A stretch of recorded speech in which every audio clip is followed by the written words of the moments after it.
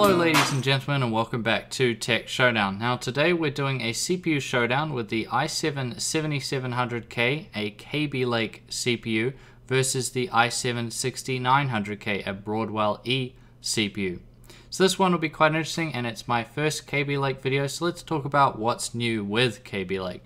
So you get not much really, native USB 3.1 support, a bit better power efficiency, better overclocking which is always nice, and higher default speeds. Now it's also coming with the new Z270 chipset. So what's new on Z270? Well, basically you get four more high-speed I.O. and PCIe 3.0 lanes, which is, you know, that's quite good. USB 3.1 Gen 2 support and Intel Optane support. But aside from that, really, there are a few more things on both the CPU and the chipset, but those are kind of like the main ones most of you guys are going to be interested in. So now let's compare the two CPUs to each other, the 7700K and the 6900K. So these are both 14 nanometer CPUs. They both take DDR4 memory. The 7700K is obviously on the Z270 chipset and Broadwell E. The 6900K is on the X99 chipset. The i7 7700K comes with 4 cores and 8 threads. Compare that to the 6900K's 8 core and 16 threads. Now, uh, speeds wise, this is where it gets a bit different from previous generations. So, quite high speeds here for Kaby Lake. The 7700K is coming with a 4.2 GHz base clock and 4.5 GHz turbo clock from the factory. That's getting pretty high. The 6900K, however, is quite a bit lower, coming with a 3.2 GHz base clock and 3.7 GHz turbo clock. TDP wise, the 7700K is coming with a 91 watt TDP, and the 6900K has a 140 watt TDP. Now the 7700K also comes with a smaller cache, so 8 megabytes to the 6900K's 20 megabytes. So it's also coming with less memory lanes, 2, as opposed to the 4 you get on Broadwell E less PCI lanes. You're only getting 16 PCI lanes max with the 7700K compared to the 40 with the 6900K. Price-wise, there's also a big difference between these two CPUs. The i7 7700K is coming in at 549 New Zealand dollars over at Playtech, compared to the 1,699 New Zealand dollar price tag of the 6900K. So you could basically buy three 7700Ks and it would still be slightly cheaper than buying a single 6900K CPU.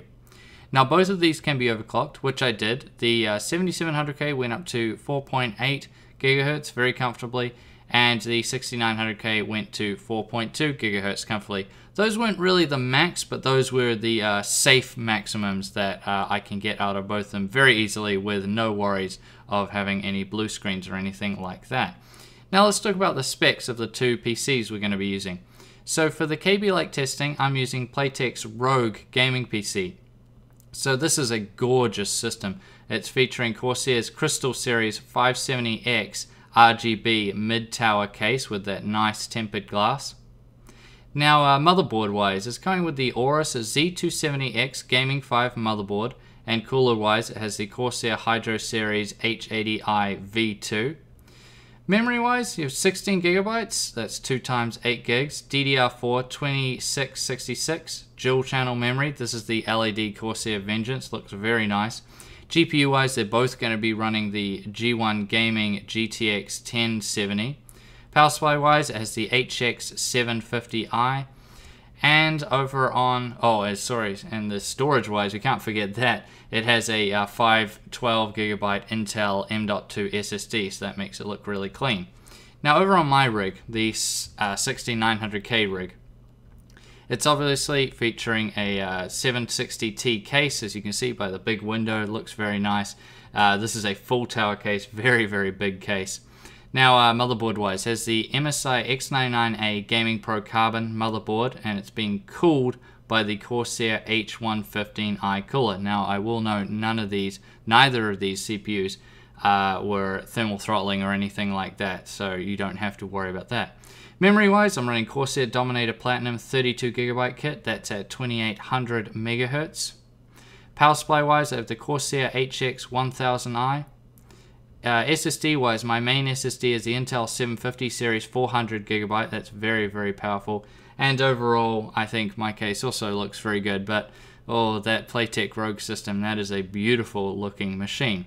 So with all that said and done, let's jump into the benchmarks, which are a mix of productivity and gaming, and see how these two CPUs perform.